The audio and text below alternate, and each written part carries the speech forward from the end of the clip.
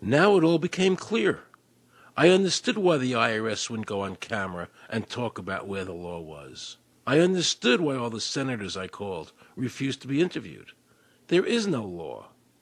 And now you know what our political leaders and the courts have known for decades and have tried to cover up. The United States Constitution strictly forbids a direct, unapportioned tax on the wages and salaries of American citizens.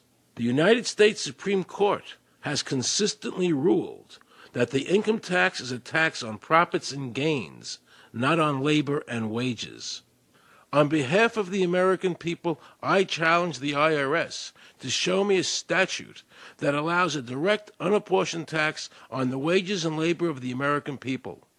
And if I'm wrong, I will give my most humble apologies to the IRS. If the IRS is wrong, and there is no law, then every person who's been jailed should be let out of jail immediately, and any assets seized should be returned to their rightful owners. If this is a nation of laws and a free country, then the IRS should show the law to the American people. I felt an overwhelming need to understand why juries were finding innocent people guilty of not filing a tax return when there was no law requiring them to do so. So I went to talk to Marcy Brooks, a juror who used her common sense and did not allow the judge to railroad the jury into a guilty verdict.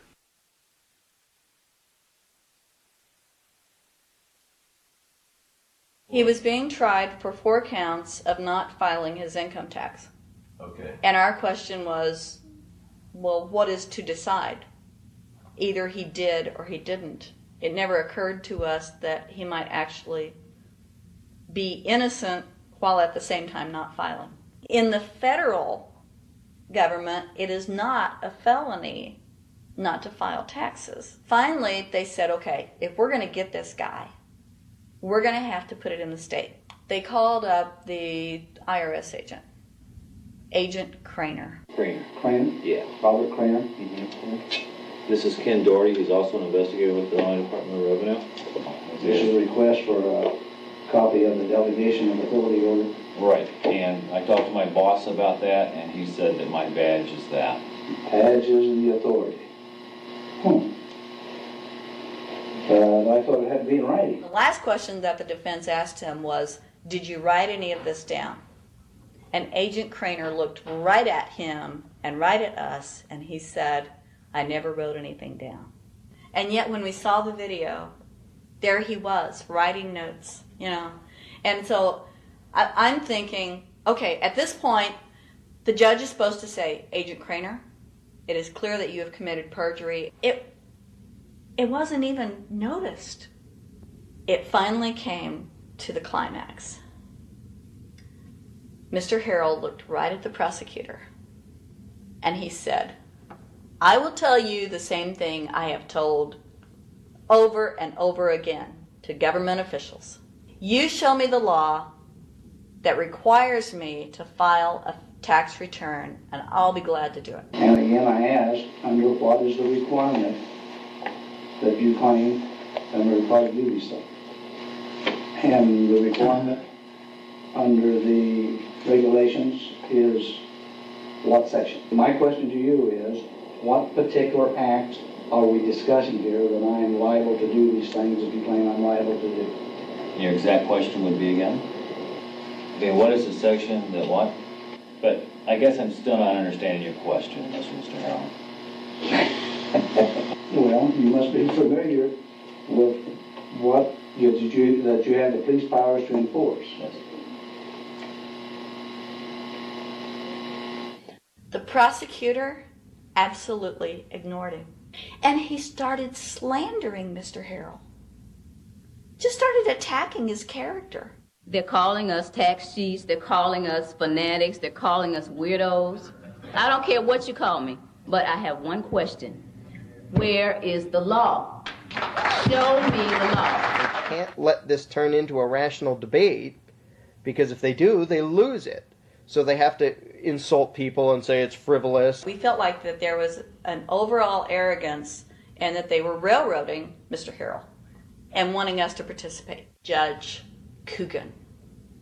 He looked right at us and he said, I will instruct the jury according to the law. We were sent to do deliberation. The judge promised us that he would give us the law. And we looked and we looked and it was not there. We wrote a note to the judge asking for a copy of the law. Ten minutes later, we get a note back. You have everything you need. But there was no law. And he had promised us. At, th- at that point, I felt betrayed. I felt like this man promised us the law, and that's what this whole thing is about the law. We request it, and he still denies us the law And the reason they didn't do it was why? Because there is no law. Remember, we're talking about the Illinois state law here, okay, which is a law in Illinois. So we got out that law and we read it several times, and I said, okay, wait, wait, wait, you know, because they kept saying, but this is a law in Illinois. And I said, look at the beginning of it.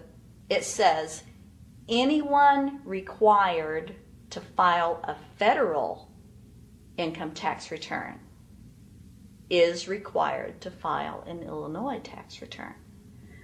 I said, if it is true that he's not required to file a federal return, then that nullifies the Illinois law.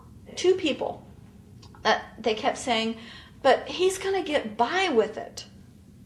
And I said, what is he getting by with but his rights? If there is no law, he's not breaking a law. He's just standing on his rights. Are we going to deny him that? That's when this one juror sat back and kind of rolled his eyes and he said, You mean we don't have to pay taxes?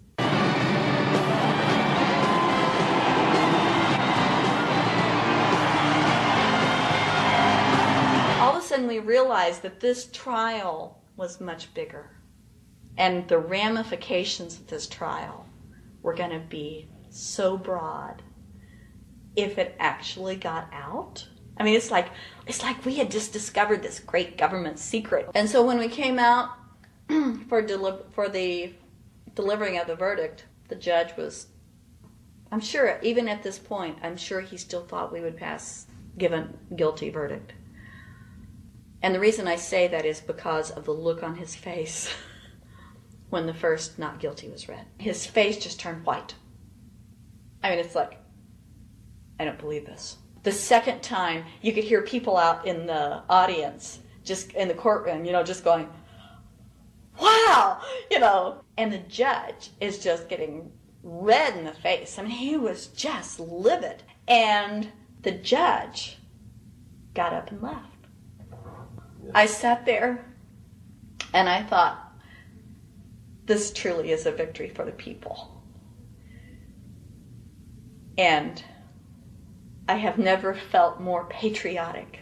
And I knew that we had done the right thing. I looked at that man, Mr. Harrell, and I thought, the system might not work all the time. But this time, for that man, it did. In November 2004, the government arrested former IRS criminal investigator Joe Banister. They charged him with fraud for telling the American people the truth about the income tax laws. The jury obviously agreed with Joe. Well, it just showed Mr. Banister to be honest and straightforward and working within the law. Vernice Kuglin, a Federal Express pilot, claimed there was no law requiring Americans to file an income tax. She also won in court. 24 people were criminally charged by the IRS because they claimed there was no law requiring them to file an income tax return. The fact is, neither the judge, nor the prosecutor, nor the IRS could bring that statute in there because it's not in the books. The jury came back with an acquittal for everyone.